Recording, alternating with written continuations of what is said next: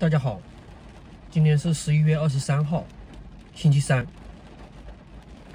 大家听我这个声音有那个鼻音哈，就是这是新冠的一个症状。我星期一开始那个嗓子有点痒，然后有点咳嗽，全身有点不舒服。呃，然后第二天，也就是昨天了。早上就出现发烧了，三十七度四，全身疼，头疼，全身疼，还有咳嗽。我到医院去做这个核酸检测，今天早上这个结果出来了，是阳性，呃，也就是感染这个新冠病毒了。嗯，昨天中午那个那个体温是三十八度四，呃，医院给了一个星期的药，那个药呢是退烧和那个止咳的药。呃，效果还是有的，现在还是有点咳嗽，但是这个烧降下来了。今天早上的体温是三十六点三度，然后这个全身和头的那个疼痛也没有了，但是还有有点疲乏。今天早上就给公司打电话，呃，休息一个星期，就从我得病那天开始，也就是星期一二十一号开始到二十七号，但我要到下个星期二再去上班，呃。就这个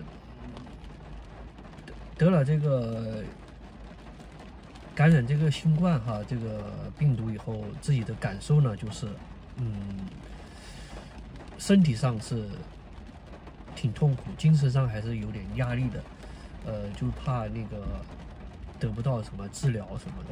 再提一下哈，到医院去诊去检查的时候都没有进医院，就是坐在车上，然后他来取这个样本。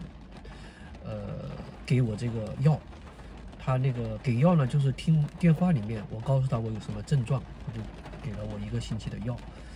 嗯，然后有一点不同的话，他帮我测了一下血氧浓度，因为我是学医的，我懂哈，这个很重要。嗯，就是会引起这个呼吸困难的这种症状，就是加重了这种有有有这种可能性哈。它那个血氧浓度是不能低于百分之九十三，这个呢一般人是测不到的，它有一种专门的仪器，所以呢医院帮我测了一下，我当时就问他，我说低不低？他说没事。呃，这也是判断这个病情严重和那个轻的一个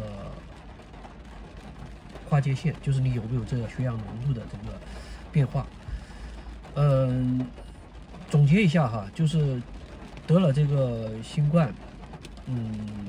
及时到医院去就诊，不要自己就是买点什么药吃了，因为我自己是学医的，我懂，我也买了药吃没有用。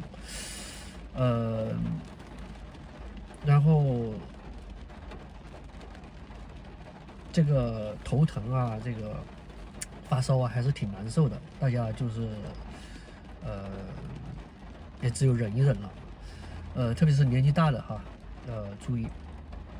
年纪大的人，或者是呃，还有那个呃，怀孕的妇女啊，身体弱的那个小孩子啊，嗯，要注意好保护自己。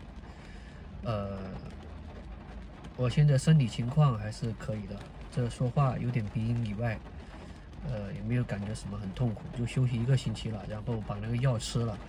呃，隔离的话，我自己就在家里面，我现在是在自己车里面，我也不出去。我一般周末就买了一个星期的菜，在家里面就是呃自己煮着吃了。平时反正也是自己在家里面自己煮着吃的，不都不不到外面去吃。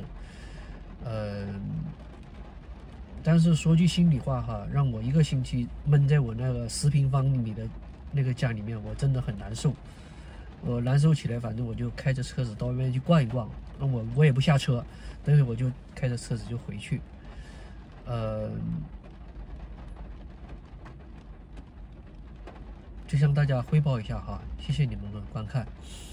嗯，明天我继续来这里发视频，拜拜。